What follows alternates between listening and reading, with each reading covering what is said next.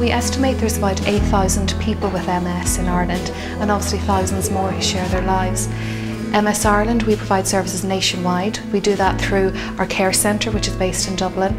We have then 10 regional offices where our regional community teams would work and they'll provide a range of services, one-to-one -one services with individuals. So if you're newly diagnosed or experiencing problems, they can come out and visit you and your family and talk through any issues that you may have.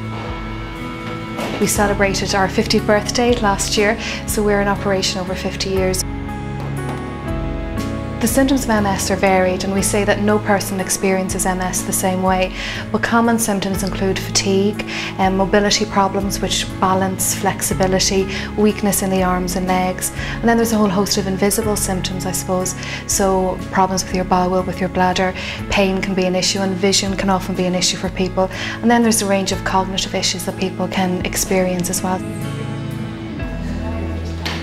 We also have a whole host of, of therapies such as physiotherapy, occupational therapy, which are all there to aid the person to be as independent as possible, both physically with physiotherapy, but also in their homes and in their workplaces.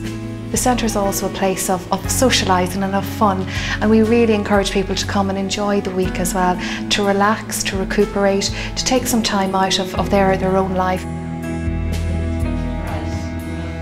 We have 12 um, people staying at any one week, so it's respite, so people come for a week or two at a time. We're very set up for those with high care needs, so we do have a number of rooms that have lots of equipment to assist people in their stay here.